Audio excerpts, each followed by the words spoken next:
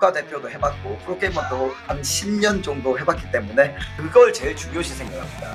뭐죠? 자신감. 진짜 승리만을 위해서 얘기할까요? 승리만을 네, 위해서. 네. 그렇죠, 그렇죠. 김성태님 가겠습니다.